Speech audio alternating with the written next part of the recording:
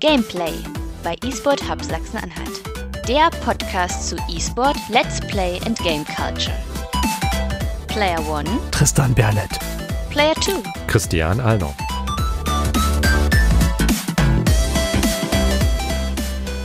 Hallo und herzlich willkommen zur ersten Episode von Gameplay aus unserem wunderschönen Studio im noch viel schöneren Halle an der Saale. Unser Thema ist Gaming-Krawatten. Und die, die uns kennen, haben was gemerkt. Wir produzieren heute keine Folge von Online-Geistern, sondern begrüßen euch ganz herzlich, auch die Stammhörer natürlich, zum neuen Format Gameplay. Und das machen wir nicht allein, sondern wir bekommen Unterstützung durch das Bundesland Sachsen-Anhalt. Genau, denn dort hat man erkannt, äh, Gaming und speziell E-Sport äh, kann verdammt wichtig sein. Und da ist man auf uns auch zugekommen, denn wir machen ja seit inzwischen fast fünf Jahren bereits die Online-Geister, einmal monatlich bei Radio Korax und sonst auch als Podcast. Genau, aber heute machen wir Gameplay. Noch befindet sich hier alles so ein bisschen im Aufbau. Doch bald geht's dann richtig los, dann startet auch das E-Sport Hub Sachsen-Anhalt durch. E-Sport Hub Sachsen-Anhalt, was ist das denn? Und dabei handelt es sich um ein vom Land, also dem Bundesland Sachsen-Anhalt gefördertes Projekt, das äh, Strukturen schaffen will und nach eigener Aussage Vier Punkte. Erstens, den Wirtschaftsfaktor E-Sport für Unternehmen etablieren will. Zweitens, Kompetenzen bündeln möchte. Drittens, Wissen transferieren. Und viertens, einen Beitrag zur Stärkung des Landesimages leisten möchte. Also im Prinzip kurz gesagt, Sachsen-Anhalt will zum E-Sport-Land werden. Genau. Wunderbar. Äh, Martin, unser Projektleiter im eSport Hub, sagt dazu, wir wollen die E-Sport-Szene damit nachhaltig stärken und davon sollen am Ende ganz viele Menschen in Sachsen-Anhalt profitieren. Und Gameplay ist der offizielle Podcast vom eSport Hub Sachsen-Anhalt. Also insofern vielen, vielen Dank auch für die Zusammenarbeit, die Kooperation. Danke sehr. Ist jetzt damit, also Online-Geister quasi ein Podcast-Label geworden? Ja, das ist der erste Schritt. Wir sind jetzt quasi das Online-Geister Expanded Universe. Da bin ich mal gespannt, was dann noch kommt. Erstmal konzentrieren wir uns aber vollkommen auf Gameplay und fangen mit unserer ersten Rubrik an. Gameplay Tutorial. Wir wollen euch zu Beginn von jeder Folge einen Begriff aus der Gamer-Szene, speziell für E-Sport, äh, der E-Sport-Szene, der wieder wirklich wichtig ist, nahebringen und äh, fangen mit in der ersten Folge mit dem, finde ich, wichtigsten und geläufigsten und relevantesten Begriff, auch gerade für Sportlichkeit an. GG. Einfach Abkürzung für Good Game, zwei Genau. Gs, oft auch klein geschrieben, weil man hat im Chat keine Zeit, das wie Umschalttasten zu betätigen. Und ich finde gerade für den Bereich E-Sport ist das ähm, al- erstmal ein guter Start als äh, Begriff und es ze- zeigt halt auch einfach dieses, äh, ist eher Sportmanship, dieses, auch so ein bisschen dieser olympische Gedanke, dabei sein, ein gutes Spiel machen, ob man gewinnt oder verliert. Am Ende gibt man sich die Hände, in dem Fall virtuell, Genau. und wünscht sich gegenseitig äh, ein gutes Auskommen miteinander vor allem. auch. Genau, es ist der, der Ausdruck von, von Respekt gegenüber den beiden Gegnern eigentlich, die ja vorher sich je nach Spiel mal mehr, mal weniger gewaltsam bekämpft haben. Natürlich alles nur vom, vom Bildschirm.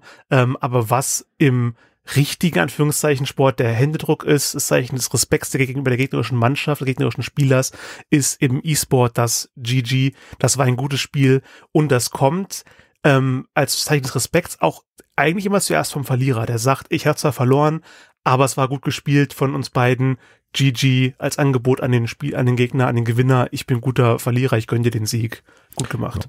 Eine Variante davon gibt's auch noch, das wäre dann GGA, also einfach GGA, halt immer auf Englisch dann abgekürzt und ausgesprochen. Das wäre dann Good Game All, also quasi ein äh, in die Runde gesprochenes, gutes Genau. Spiel von allen. Also ihr habt euch allesamt angestrengt, auch wenn wir jetzt vielleicht verloren haben, ihr gewonnen habt, umgekehrt, wie auch immer. Aber es war einfach, es war eine schöne Zeit, es war ein gutes Spiel, wir hatten Spaß auch dabei gehabt, wir haben vielleicht auch was gelernt, uns neue Fähigkeiten eingeeignet, was auch immer, aber halt eben diese Idee, die halt hinter diesem gesamten Sportgedanken überhaupt erstmal steht und beim E-Sport, also dem elektronischen Sport, klar, äh, dann halt auch genauso weitergetragen wird. Also egal, ob ich jetzt äh, draußen auf dem Rasen Fußball spiele, ob ich Schach spiele oder ob ich halt eben ein Computerspiel, Konsolenspiel, was auch immer spiele, äh, immer dieser sportliche Gedanke, dieses Mitmachen, dieses Miteinander auch äh, wachsen und miteinander halt besser werden, ist gerade an der Stelle, finde ich, sehr zentral und deswegen haben wir das uns auch ganz bewusst als ersten Begriff mit rausgesucht. Eine weitere Variante ist noch äh, GG Well Played, also GG Dopp-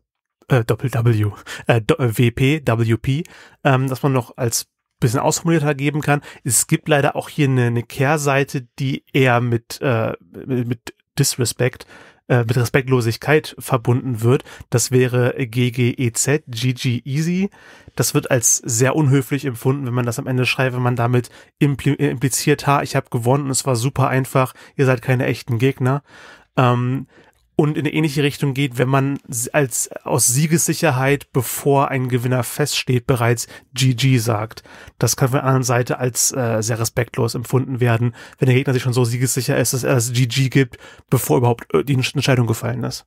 Also auch im E-Sport, merke, gibt's Spieleretikette, wie man miteinander umgehen sollte. Genau. Das wären dann Begriff fürs andere, BM, Bad Manners, wenn man das äh, ein verfrühtes GG gibt oder ein GG Easy schreibt. Ähm, üblich ist es, dass der Verlierer das GG eingesteht, in der Regel bevor er aufgibt oder bevor der letzte ähm, ja, die entscheidende Aktion vom, vom, von der gegnerischen Seite ausgeführt wird und dann auch oft äh, von Kommentatoren übernommen wird, dass die GG synonym benutzen für das Ende vom Spiel und dann sagen, ah, nach dieser äh, Situation sieht das doch ganz nach einem GG aus. Und dann ist es auch meistens schon dort. Also synonym mit der Spielaufgabe, Respekt von Spielaufgabe oder synonym mit dem generellen Spielende. Und da wir ja auch immer ein Good Game GG machen möchten, äh, gleich als Feedback-Aufruf an euch da draußen. Passt das? Können wir es besser machen? Habt ihr Vorschläge, welche äh, Begriffe, welche vielleicht auch Szenen wir kurz mit vorstellen können?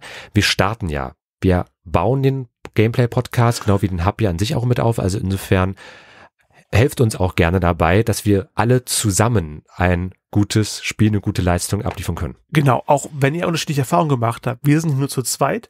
Zwei Spieler, äh, Videospieler, die ab und zu auch mal online spielen und dann Dinge aufschnappen. Ähm, sagt uns, uns gerne eure Erfahrungen, wo ihr was aufgeschnappt habt, was ihr interessant findet. Ähm, bringt es uns, bringt es zu uns. Wir reden darüber. Genau, denn nur zusammen können wir ein Team sein. Sehr schön gesagt. Hm. Und ebenfalls Team-Building-Maßnahmen gibt's bei Gaming-Krawatten, wie dann unser nächstes Thema der Sendung dann auch sein wird. Äh, nicht wundern, der Podcast endet jetzt hier. Das heißt, danach gibt's dann äh, die nächste Folge, dann zum Gameplay-Thema, wo wir uns dann mit ja, E-Sport in Unternehmen, also Gaming-Krawatten auseinandersetzen werden. Passt es überhaupt zusammen? Wie passt es vielleicht auch zusammen? Was ist das eigentlich? Und wird da in Sachsen-Anhalt, wird da in Mitteldeutschland überhaupt was gemacht? Also wie zeigt sich das im Alltag? Wir dürfen gespannt sein. Äh, wir hören uns dann gleich wieder.